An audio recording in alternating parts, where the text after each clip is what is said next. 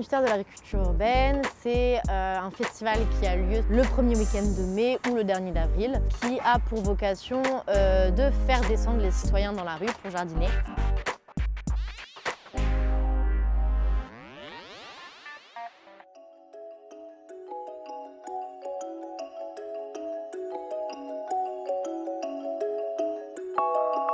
Donc un peu sous le format euh, fête de la musique, mais version euh, pelle et râteau. Chacun sort dans la rue pour végétaliser euh, un petit pied d'arbre, un coin de rue, euh, tous ensemble. L'idée, c'est de permettre aux citoyens de se réapproprier un peu leur rue ou leur quartier.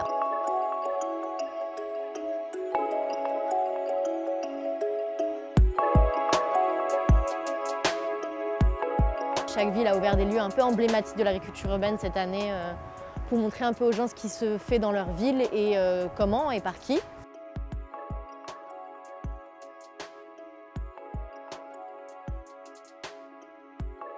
C'est aussi euh, un super outil pour le lien social. Ça permet euh, à des habitants d'un même quartier, d'une même rue, d'un même immeuble de se connaître. Ça permet aussi de faire découvrir aux tout petits que euh, bah, même en ville, il y a des choses qui poussent et, qu'on peut tout à fait jardiner même si on habite dans un appartement de 30 mètres carrés à Paris.